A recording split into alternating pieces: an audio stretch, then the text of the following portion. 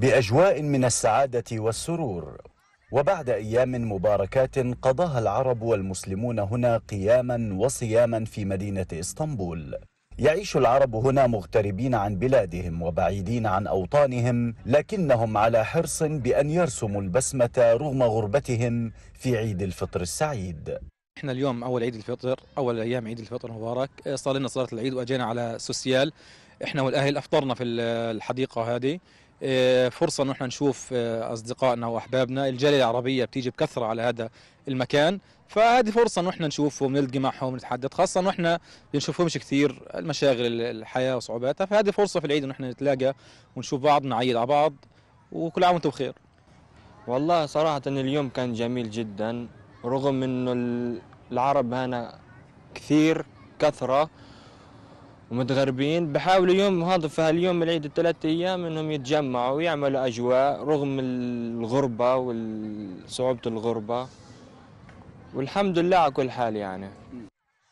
إلى الحدائق والمتنزهات تأتي العائلات العربية المسلمة لقضاء أيام عيد الفطر في ظل تراحم وتكافل اجتماعي. يميز الجاليات العربية عن غيرها فهم يستمدون الفرحة والسعادة من تعاليم ديننا الحنيف الذي يدعونا إلى إظهار السعادة في الأعياد المباركة. طبعا العيد في الغربة مختلف عن العيد في الوطن ومع هيك لازم الاحتفال بالعيد.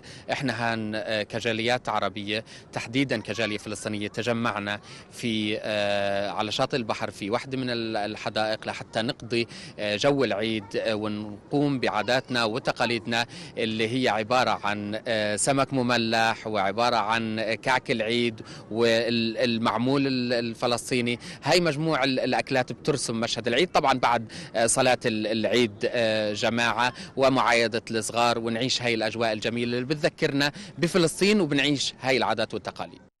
ويذهب الناس إلى الحدائق ليعيشوا التقاليد الخاصة بهم وبمجتمعاتهم. حيث وجبة الفطور التي يأكلونها والتي تتكون من السمك المملح والذي يتم كبسه بطرق معينة ويتم تناوله عادة في عيد الفطر وهو ما يعكس تمسكهم بعاداتهم الخاصة رغم بعدهم عن أوطانهم.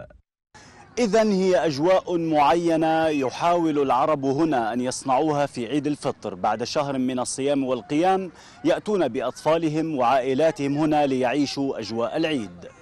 سامح المدهول قناة كربلاء إسطنبول.